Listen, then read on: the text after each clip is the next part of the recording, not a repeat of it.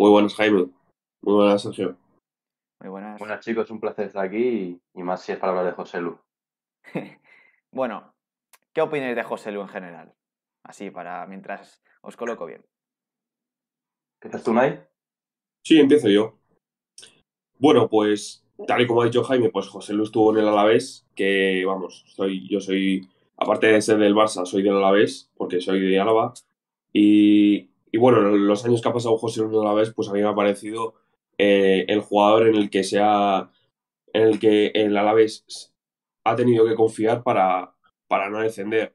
Eh, el año pasado eh, yo creo que marcó 11-12 goles y, y vamos, gracias a José Lu descendimos en diciembre y pudimos aguantar hasta el final. a mí me parece un, un delantero que, que no es nada del otro mundo técnicamente, pero la que tiene la marca gana, gana un montón de balones por arriba. Eh, yo creo que es de los el delantero o el jugador que más balones por aéreos gana en la liga, no solo este año, sino ya, ya lleva varios años y, y pues me parece un pedazo delantero para casi cualquier equipo de, primera división. Sí, es lo que decía Unai, ya un, conocido en la liga, pero vaya, nadie se esperaba este arranque liguero. Eh, es, el, su inicio goleador mejor de, su carrera. En nueve partidos logró siete goles. Espectacular. Ninguno del español se imaginaba, se imaginaba esto. Sabíamos cómo era José Lu, sabíamos que era un goleador de área, que era que tiene la mete, como decía Unai. Y, pero vaya, siete goles en nueve partidos es lo que ha hecho que el español ahora mismo no esté más hundido de, de lo que está. Y como decía Unai, como dato, es el, delantero que más duelos gana, gana de la liga. Sí. Y es que se está saliendo, tiene unos datos increíbles, como, como decíais. Vamos a verlo en pantalla, los datos que, aportabais, porque está, lo está haciendo increíble. Pero antes de eso, también quería, quería preguntaros, porque claro, se fue RDT en su día, del español, Pablo. Sí y, se apostó por José Lu. Mm, era cuando, cuando son... Claro. Sí. Yo cuando se, anunció que José Lu iba a llegar al español gratis, yo me imaginaba una dupla José Lu RDT, dos delanteros que se podían complementar bastante bien, uno como José Lu que, le gusta pelearse con los centrales, ir, ir, al choque, y en cambio luego RDT, uno que le gusta más jugar la pelota, venir a recibir. Claro, pero cuando me dices que RDT se va, es totalmente arriesgado. Pero vaya, yo, yo pienso que, que José Lu apostó mucho por el español. Eh, además, a mi parecer, se siente junto a Darder el líder del proyecto. Y yo creo que es el hombre que va, a intentar tirar del carro y, intentar que el español esté lo más arriba posible. Si me dejas a decir tres meses atrás si, si hubiera hecho el cambio de José Lu, hubiera tenido muchas dudas. Como te digo, son delanteros muy distintos, pero yo aunque ya no esté en mi club, sigo pensando que RDT sí que está un, un, paso superior por delante de José Lu. Bueno, vamos a ver las estadísticas de las que hablabais. Siete goles en 11 partidos y lleva, bueno, el 50% de los goles del español son suyos. Que es que el dato está ahí y es, vamos, nos, nos pone en contexto de la relevancia que tiene en el equipo. Es un jugador que a partir de él crece, crece la plantilla y crecen los demás jugadores y que al final el proyecto también está girando en torno a él. Es la figura del proyecto, ¿no? Sí, sí, totalmente. Junto a Darder, son los dos líderes del actual proyecto del español. Y es lo que dices, cada, cada balón que pasa por el área y está José Lucerca, ya cualquier aficionado del español dice, uy, aquí hay peligro y es que como la, como la tenga, la va para adentro. Ya lo vimos contra el Cádiz, que tiene dos y las dos se la mete, contra el Valladolid igual. Y es lo que dices, te gana puntos, te gana partidos y, está siendo pues el, hombre capital del equipo ahora mismo, sí. Quería destacar una cosa, lo vemos en el, en el mapa de calor. No es un delantero de área, ha comentado Unai que todas las que tiene el área las mete, pero también le vemos salir el dos, en las dos bandas, había, ahí se, ve, gracias Sergio, en las dos bandas tenemos tanto que cae a la banda derecha, a la banda izquierda, da más salidas a este equipo. ¿Eso ya lo vimos en el José anterior, Unai, o es algo nuevo de este José Lu del Español. Sí, yo creo que, lo lleva haciendo muchas temporadas. Eh, al final cae a banda por, lo menos en el Alavés, lo hacía para, para recibir balón desde la defensa o desde el portero y a partir de ahí hacía jugar. Eh, me imagino que ahora eh, puede estar cayendo más a la banda para combinar con sus compañeros o para recibir balones aéreos también. Pero sí, sí, lo lleva haciendo desde, desde, que, desde su primera temporada en el Alavés. Sí. Sí, también es lo que, lo que decía. Le gusta caer más a banda. Al ser laterales suelen ser jugadores más bajitos y tiene más, más oportunidad también de, de ganar el duelo aéreo en ese sentido. Recordemos también que es que va segundo en cuanto a los máximos goleadores de la liga. Es el primero en el Zarra junto a Borja Iglesias, porque también va empatado con él a goles en la liga. Y es que, bueno, es espectacular el rendimiento. Quería preguntaros una cosa, porque ya el debate va de esto. En clave selección, ya hemos hablado de lo que aporta al español. ¿Qué le puede aportar a la selección española? Porque creo que vimos un perfil muy parecido hace años en la selección española bueno, la mejor de la historia, vamos a decir, que es la de Fernando Llorente, y que dio muchas cosas y vimos como incluso ganó eliminatorias con este perfil. Eh, sí, sí, es un estilo, hablando de las diferencias a, lo que fue Llorente ahí en el Mundial 2010, un central capaz de desatascarse partidos con defensas cerradas. También lo pudimos ver el papel de Aduriz en la Eurocopa que tuvo, podía ser un papel bastante parecido. Sigo pensando que no es del, agrado de Luis Enrique. Además, sabemos que Luis Enrique a la hora de las convocatorias es muy de los tuyos. Y José Luque no, no ha ido nunca con la selección. Me gustaría pensar que de repente entrara en la, en la, lista, que creo que es el 11 de noviembre, la lista definitiva. Sí, Pero bueno, yo sigo pensando que tienen números para ir al Mundial de calle, como decía, de los máximos jugadores españoles. Creo que solo supera Yutilá. Y y por números, para mí podría ir perfectamente. Eso sí, lo dudo por, Luis Enríquez. ¿Y qué le puede aportar, Unai, qué le puede aportar a la selección en cuanto a juego? ¿Qué aportaba al Alavés y si crees eso lo mismo? Que si puede aportar lo mismo que aportaba a la selección.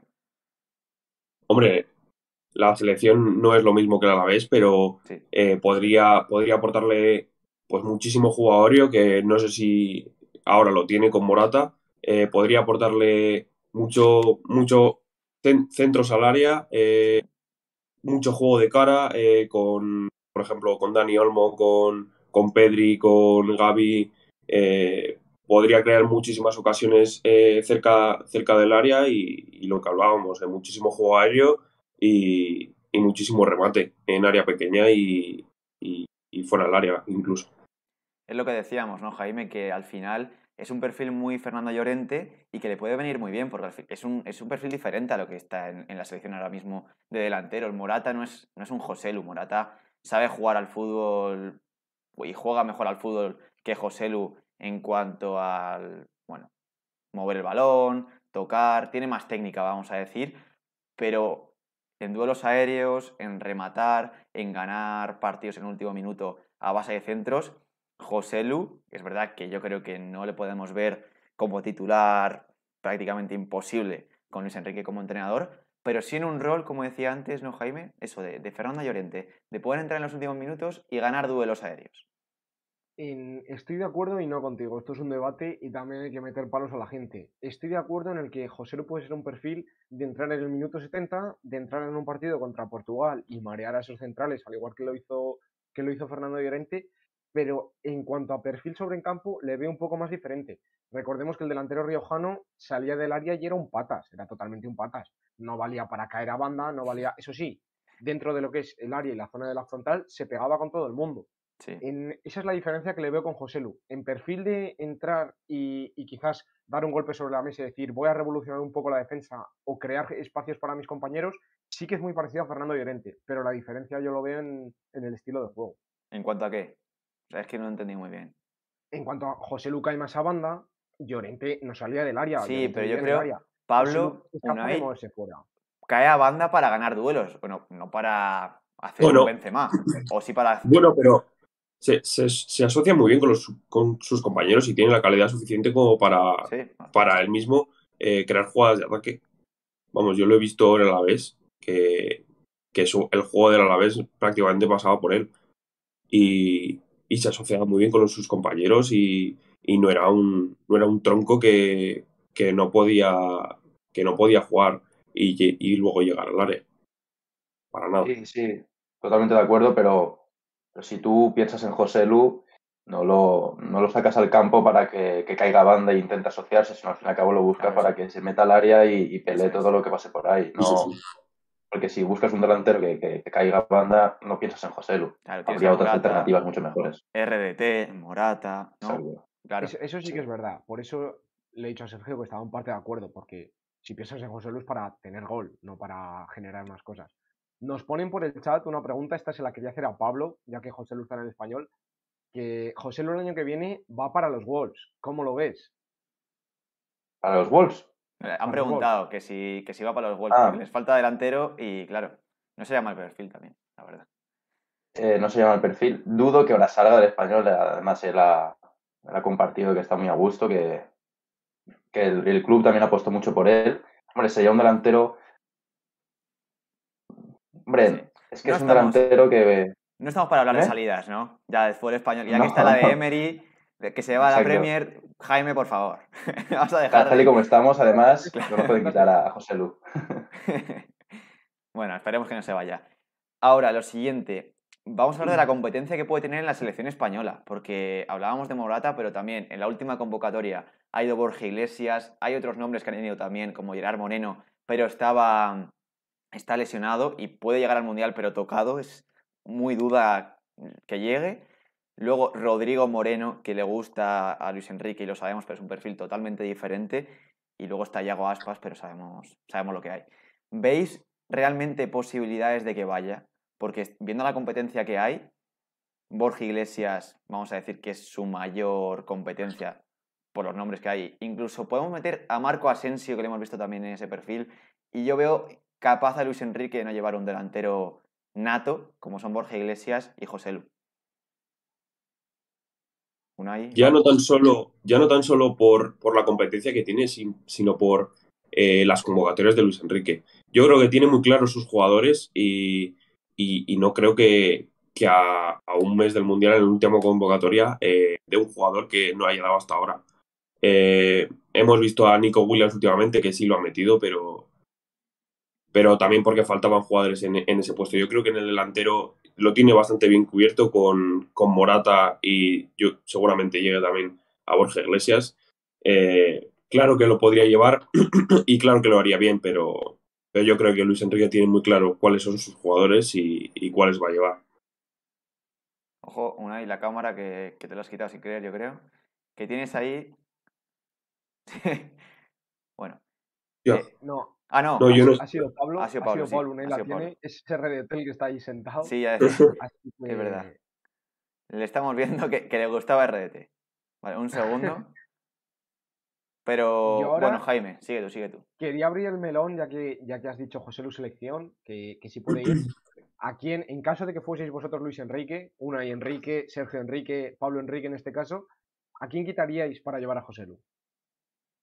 Pero ¿En cuanto a qué? A Borja Iglesias, a ver. ¿Te, refieres a los delanteros? Claro. Sí, sí, sí. Hombre, no vas a quitar a Íñigo Martínez para meter a José Lu. Bueno, en, este, en ese caso. a ver. Eh, sí, sí, dale hay. Bueno, ya hemos visto que, por ejemplo, Ferran Torres, que suele jugar en, ese, en esa posición, no está en su mejor momento. Eh, es verdad que tiene mucho gol y que es muy joven, pero pero no sé, podría entrar por, por ejemplo, por él.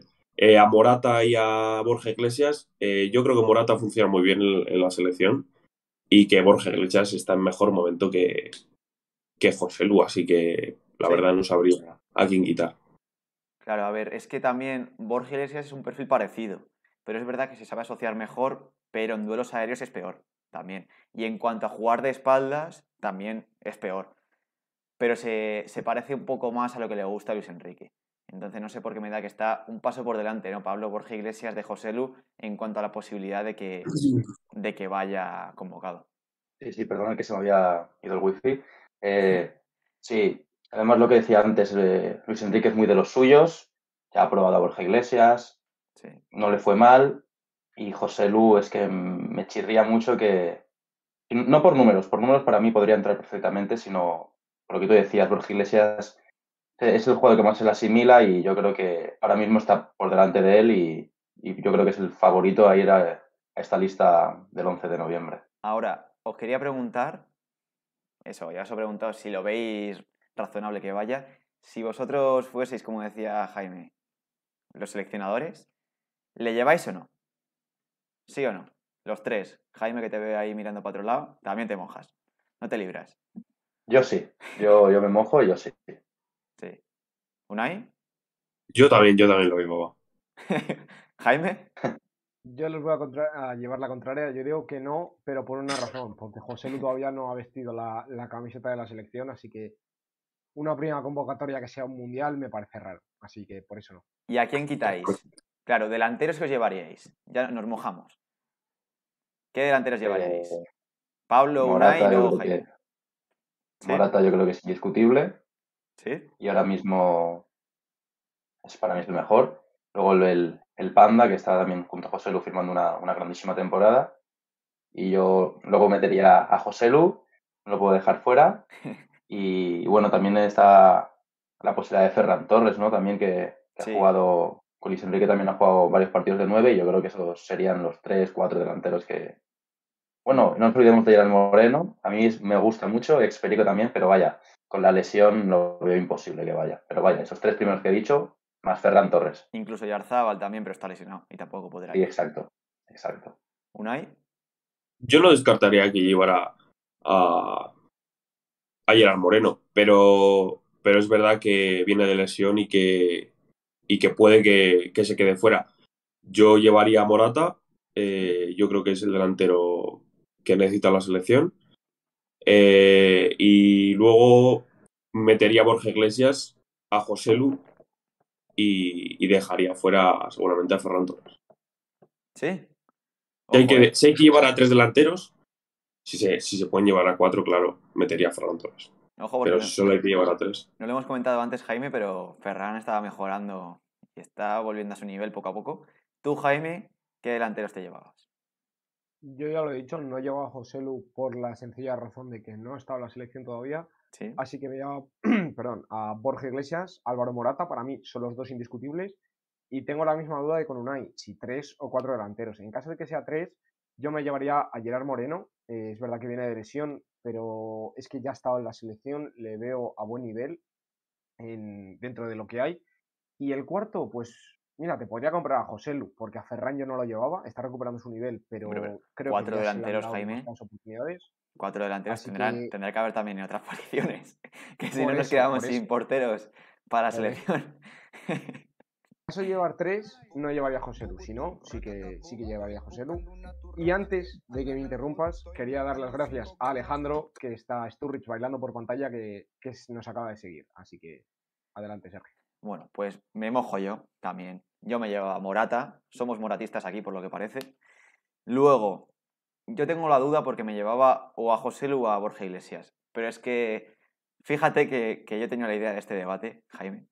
Tuve la idea de hacerlo, pero creo que, que yo me llevaría a Borja Iglesias. Porque, no sé, me encaja más, sobre todo sabiendo que el seleccionador era Luis Enrique.